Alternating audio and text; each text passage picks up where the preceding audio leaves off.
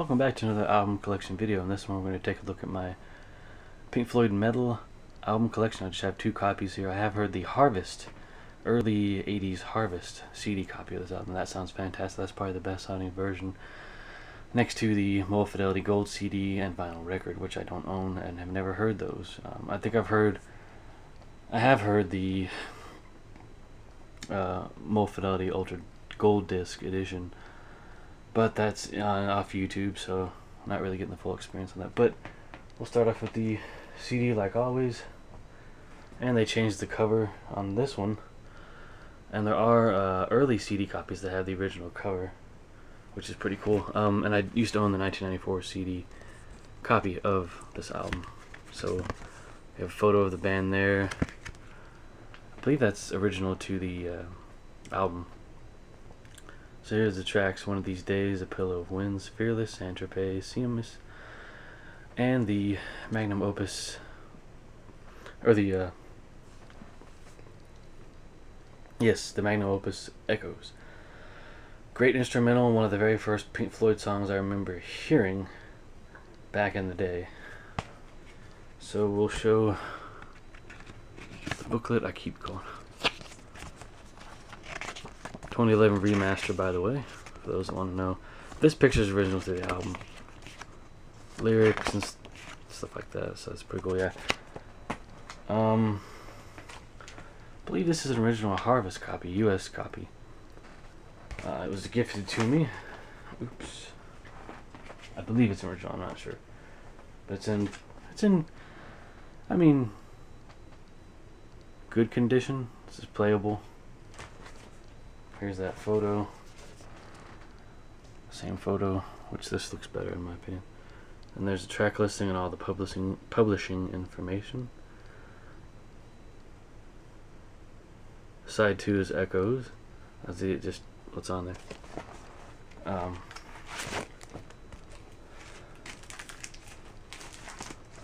so there is the harvest label there.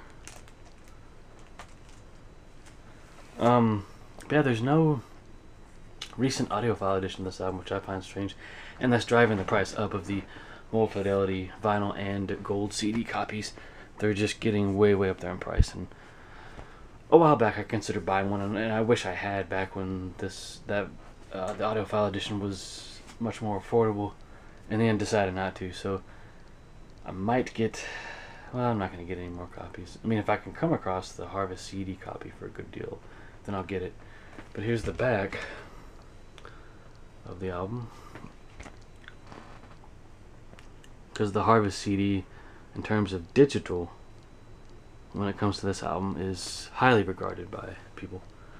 So yeah, original album tracks on this one too. Um, would be interesting to see like a box set of this come out with some live, um, live song uh, shows from this era. I mean, maybe one day I'll be able to replace this cover. It's it's seen, the record saw a lot of use back when it was with its original owner. But yeah, this this album I love it. I mean, it's acoustic and kind of laid back and uh, just very care carefree, but in a good way. Um, and then Echoes is like this great soundscape that it takes me out into space, you know out, you know, beyond the Earth's atmosphere. And with these uh, big names like the president of Virgin or owner of Virgin Records and uh, the CEO of Amazon, what's his name, Bezos, whatever, going up into space. I think that's pretty cool right now, given the climate, you know, of the of what's, what's going on. There's the catalog number. I think it'll focus. Uh, that's as good as it'll get. SMAS 8392. And this is fantastic. You can find CD copies. So is the that 2011 CD copy. That's fine.